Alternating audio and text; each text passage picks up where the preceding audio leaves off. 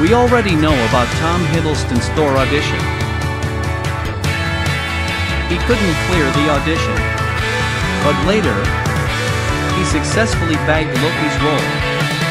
So today, let's take a look on how he'll look like as the god of thunder, Thor.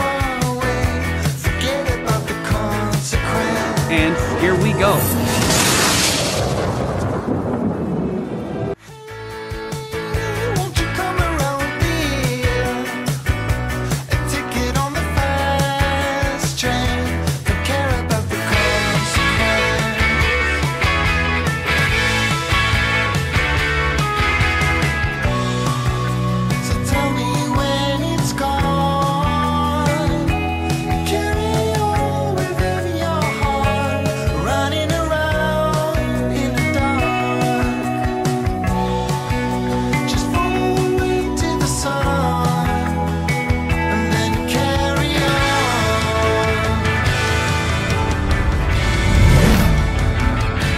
And!